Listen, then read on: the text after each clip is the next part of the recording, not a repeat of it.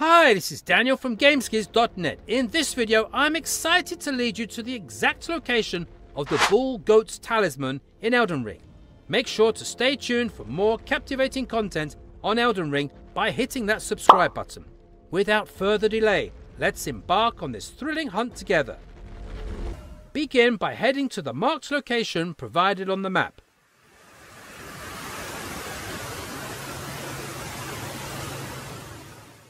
Upon arrival, follow my lead into the Dragonbarrow Cave.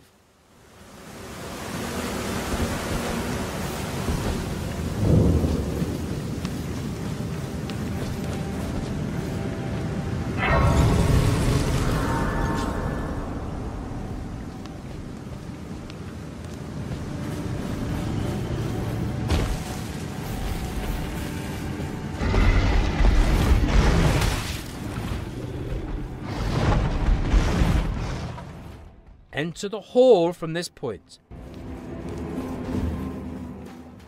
Here, you'll find the Bull Goat's Talisman available for collection. And there you have it, folks, your essential guide to obtaining the coveted Bull Goat's Talisman in the perilous realm of Elden Ring.